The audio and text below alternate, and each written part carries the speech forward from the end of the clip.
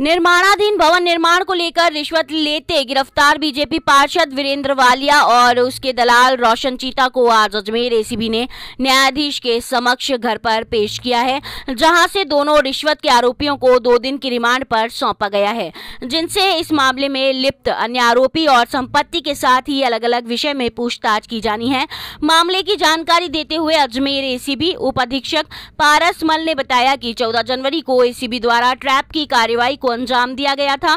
परिवादी की शिकायत पर वार्ड संख्या गुन्यासी के पार्षद वीरेंद्र वालिया और उसके दलाल रोशन को बीस हज़ार की रिश्वत रकम के साथ रंगे हाथों गिरफ़्तार किया गया था। दोनों आरोपियों ने ईदगाह स्थित भूमि पर मकान बनाने की एवज में पचास हज़ार की रिश्वत मांगी थी और दो मकान का निर्माण कार्य किया जाना था। इस मामले की शिकायत पर सत्यापन करते हुए इस कार्रवाई को अंजाम दिया गया। आरोपियों से पूछताछ के बाद आज एसीबी न्यायाधीश के समक्ष समक्ष पेश किया गया है, जहाँ से दो दिन का पीसी रिमांड सौंपा गया है। आरोपियों से इस मामले में गहनता से पड़ताल की जानी है। एक अन्य आरोपी की भी संलिप्तता सामने आ रही है। साथ ही परिवारों में और से किस तरह से बातचीत की गई और किसी को डराया जा रहा है या नहीं, इसके साथ ही घर पर मिली संपत्ति और नकदी को लेकर भी जानकारी जुटाई जा रही है। आज ट्रैप कार्रवाई में आरोपी गणों को माननीय न्यायालय के समक्ष पेश किया गया और अनुसंधान के लिए दो दिन की पुलिस अभिरक्षा के लिए निवेदन किया गया था। माननीय न्यायालय ने सत्रह दो तक के लिए पुलिस अभिरक्षा रिमांड स्वीकृत किया है। इस कार्रवाई जारी है। क्या पूछेंगे इनसे दो दिन के बीच? क्या ऐसा बाकी रह गया जो पूछना है और कितने लोगों की शिकायत मिली थी? उनको भी लेकर आप कार्रवाई करेंगे? नहीं अभी हमारा इन्वेस्टिगेशन सिर्फ़ ट्रैप कार्रवाई और ट्रैप राशि के संबंध में ही डिमांड वेरिफिकेशन के संबंध में ही फोकस है। अभी हमारे पास ऐसी कोई शिकायत है नहीं। अभी हमारा फोकस ट्रैप कार्रवाई पे है तीसरे आरोपी का भी नाम है आप बता रहे थे जो उजागर वो सामने आएगा क्या? क्या नाम है हाँ उसके संबंध में इनकी जो आपस में कॉल वार्ताएँ हुई है उन कॉल वार्ताओं में उनका नाम भी आया है। और उस संबंध में इन्वेस्टिगेशन के लिए ही हमने उसका पीसी रिमांड लिया निगम का कर्मचारी अधिकारी को लिप्तता आ रही है कि जो है जेसीबी की धमकी देते थे नहीं अभी तक के अनुसंधान में आ, कोई ऐसी लिप्तता नहीं पाई गई है। और आगे जैसा फर्दर इन्वेस्टिगेशन में जो तथ्य आएँगे आपको अवगत करा और कोई भी परेशान व्यक्ति परिवादी आया कि आपके संग हमें भी परेशान किया गया?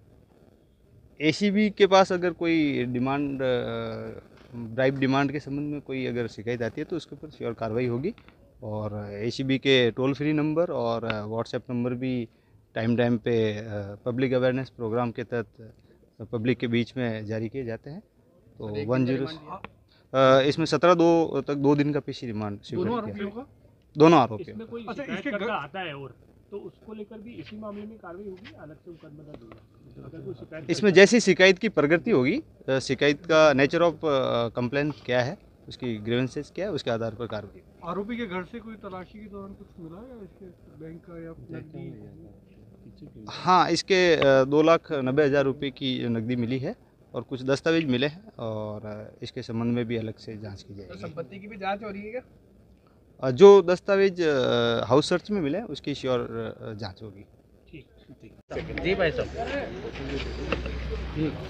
वालिया साहब की तरफ़ से मैंने और प्रीत जी ने वकालतनामा लगाया है और रोशन जी की तरफ़ से भरत जी शर्मा ने लगाया हमने माननीय न्यायालय से निवेदन ये किया है कि एक तो इनकी जो है बीपी के और शुगर के पेशेंट हैं तो उन्होंने कहा कि हमने उसका मेडिकल कराया है और भी पुलिस ने, पुलिस कस्टडी रिमांड मांगा है कि पुलिस कस्टडी में उनकी और तफ्तीश इनको करनी है।